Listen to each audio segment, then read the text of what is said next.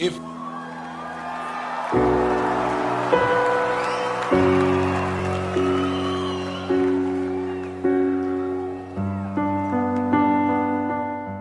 any man being Christ is a new creation, all things are passed away. Behold, all things have become what?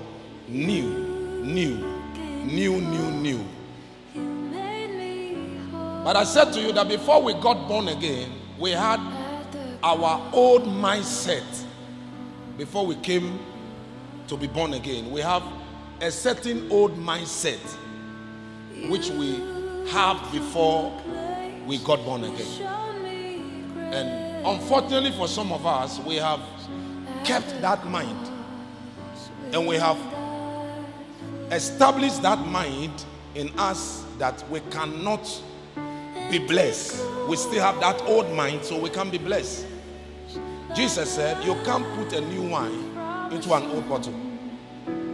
Neither can you put an old wine, you understand? You understand, to a new bottle. So if you want to put a new wine into a bottle, there must the bottle must be changed first. You must do everything in your power to change the bottle. Otherwise, it will not work the way you expect it to work. So I said to you last week, our mind has become the greatest enemy to the change of our lives. We can't change our life because our mind is not changed. We still have the old mindset. We still think the way we used to think. We still reason the way we reason. So we cannot change and have new things happening in our lives.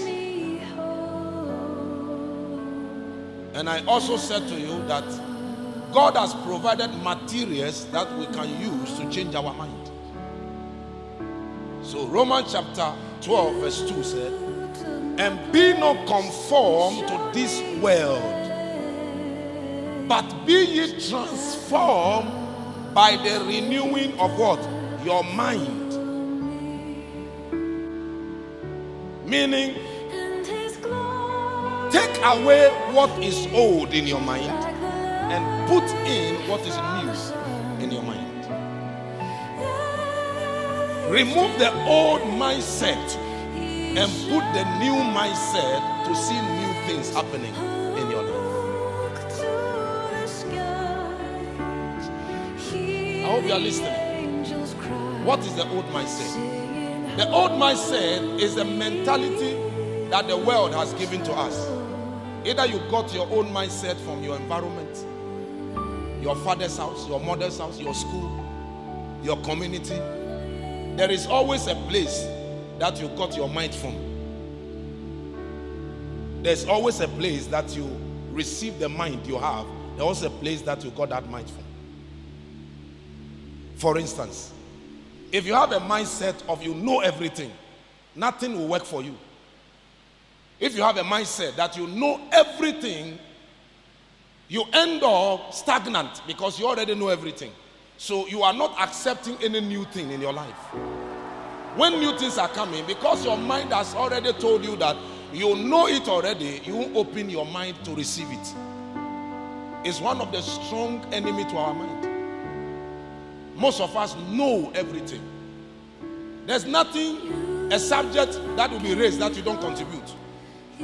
Anything that is raised, you know something about it. If you're in business, they ask you something, they say, Oh, I know about it already. They ask you, I know, I know about it. Mary, I know about it already. People who always behave like they know, they don't make progress in life. Check their life. Any human being that behaves, he knows, doesn't see new things. He always stick with the old things that is there. That's why when God wants to bless you, God first will touch your mind to change your mindset. After changing your mindset and introducing a new mindset to you, and new things will start happening in your life.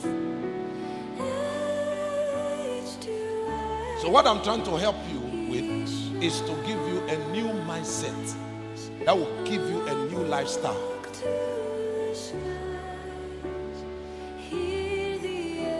If you grow in an environment where everybody is used to medicine, what I mean by medicine, drugs, Somebody is sick.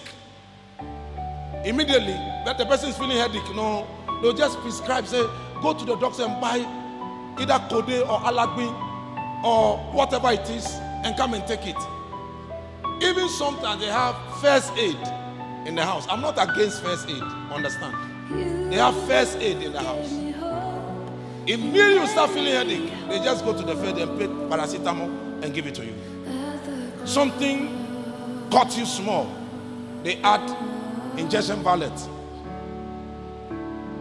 You are brought up in an environment where medicine is common to be applied. It will be difficult for you to believe in divine healing. It will be difficult. It will be very difficult to believe in divine healing because you are used to a system that always provides drugs. So if somebody tell you about divine healing, how to walk in divine healing, you see it as something strange. Is it possible for me, somebody to walk in divine healing when Kode is there, when paracetamol is there, when painkiller is there? It will be difficult for you to change it. And that is what we call a mindset that your environment has given to you. If you're also brought up in an environment where you are very emotional, like emotional environment where people are easily, you understand, affected emotionally. It's difficult for them to see changes in their lives because emotions affect your movement. Any person that is emotional cannot move. Because on your way of movement, there are things that will touch your emotions. There are things that will affect your emotions. So if you are somebody who you are always sensitive to your emotion, you can't even settle down in marriage. Because marriage is full of bullets against emotions. I can tell you by experience. Marriage is full of bullets. There are always bullets against your emotions. So if you are somebody who you are brought up an emotional environment, it's difficult for you to marry. Small thing, you become unhappy. Small thing, you withdrawn. Anywhere you go, when people want to play with your emotions, they say, I, I, I don't want to be here again. I want to go to another place where people accept my emotions. So you keep running away from one place to another, one place, and you never get established because you are emotional. Such a mindset can cause you not to see new things in your life. Have you noticed people who are brought up in America where they are, they lack self, they cannot, they, they can't concentrate on themselves. They are careless. Environment that is carelessness. You grow in an environment where your parents are careless. You grow up if you don't think you become careless. It gives you a mindset. Your father come from work and remove his shoe and throw it somewhere. Remove the socks and throw it somewhere. Remove the shirt and throw it somewhere. You do anything anyhow. Anything anyhow. Some of you in your own room, you have not cleaned your own room for a long time. Not because you don't, but because that is the training they gave to you. That is the training they gave to you. Your socks will get missing for six months. You are looking for the source, you can't find it. You ask your wife, Have you seen my source? Say, I have not seen it. That's your child. Have you seen my source? I have not seen it. The anger started rising up in you. You people are very, very dangerous people. You all are not serious people. You say you have not seen my source. Did they wear the source with you? No. it is a mindset, a system that has been created in your mind. So when you go into any environment where people are not careless, you find it uncomfortable to stay there because you feel they are doing something too much. Why are they doing things something too much? Everything they are always talking about this, talking about that, talking about this. And some of you have come to church with that mindset. How about blessing somebody today? Until the old system, which has kept you in failure, disappointment, setback, Until that old system is changed, a new system has come, you can never see new life. That's why many of you have been in church for a very long time, yet your life is not changed.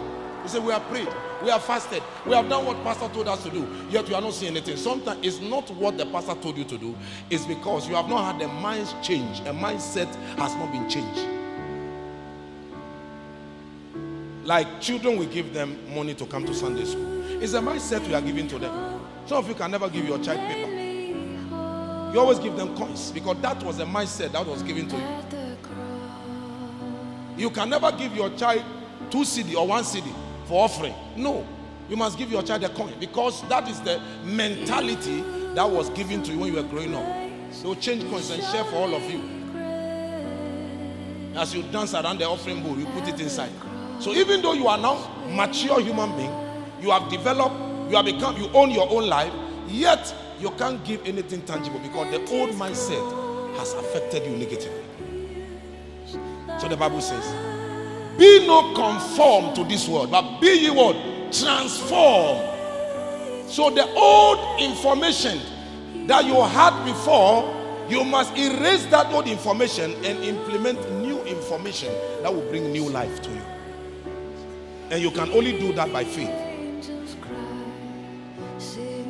Are you listening to me? Some of you, the old system of destruction of marriage in your family, you understand, has affected you. Like in the olden days, people have marriage and the marriage is such that the men are the bosses of the house. They are not the head, though, they are the boss. There's a difference between boss and a head. From farm.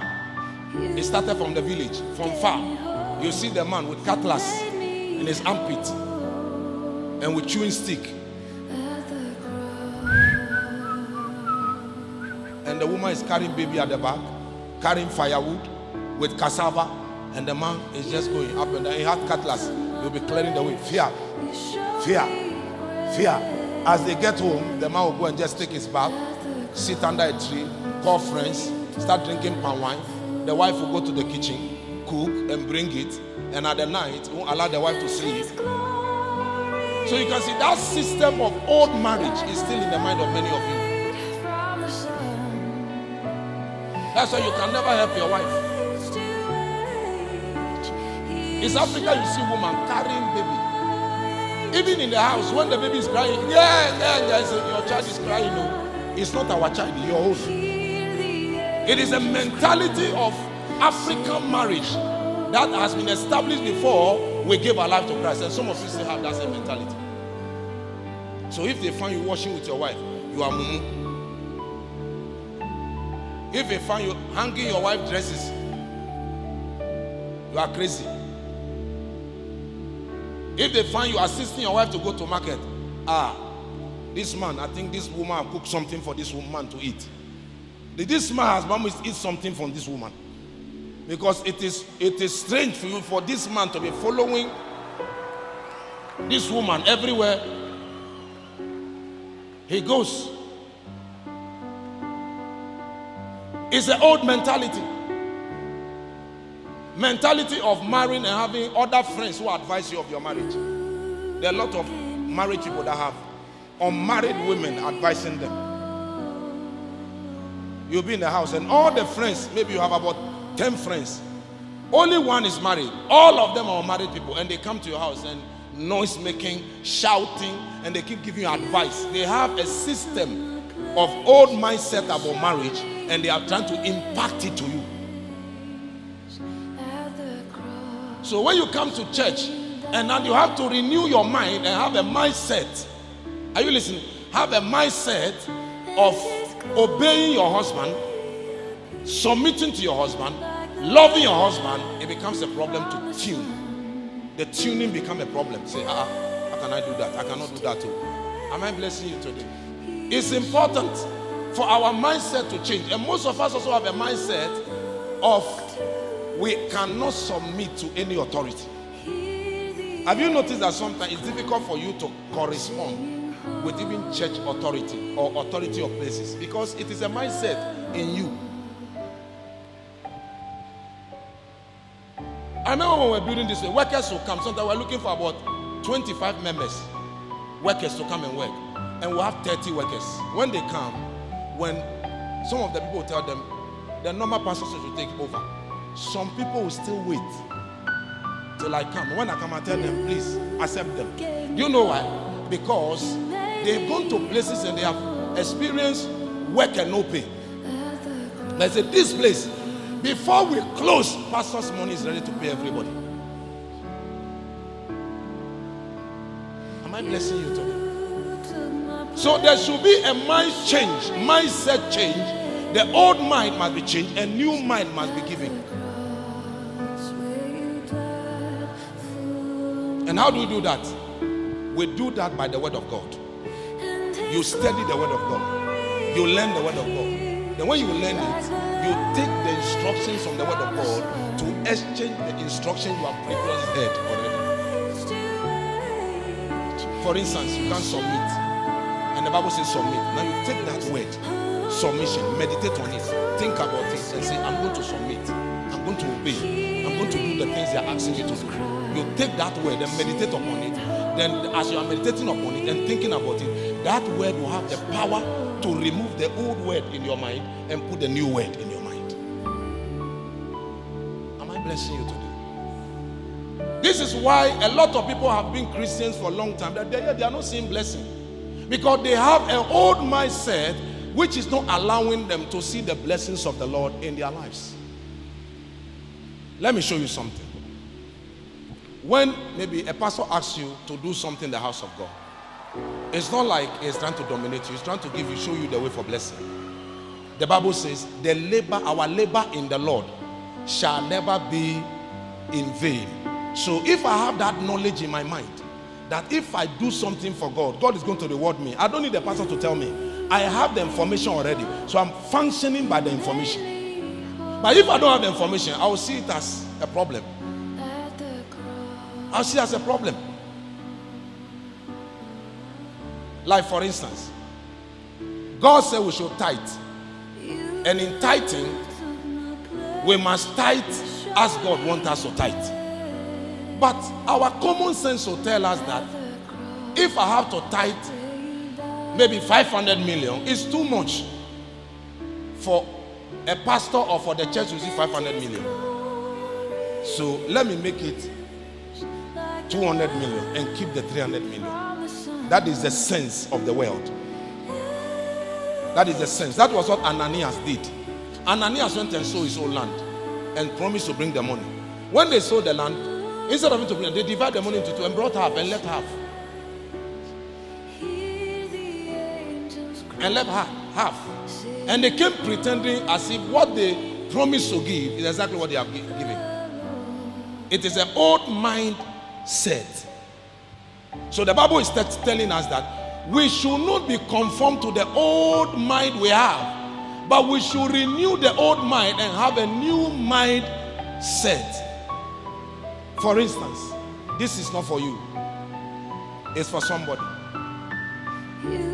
The old mindset tells you that if you see it, take it. Am I correct? Mm? The old mind will tell you that, ah, I find Bible here and there's nobody here. It's for me. I take it. It's for me.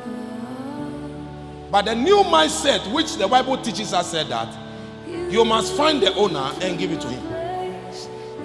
So you must take away the old mind and put on what? A new mindset to see a new life in you.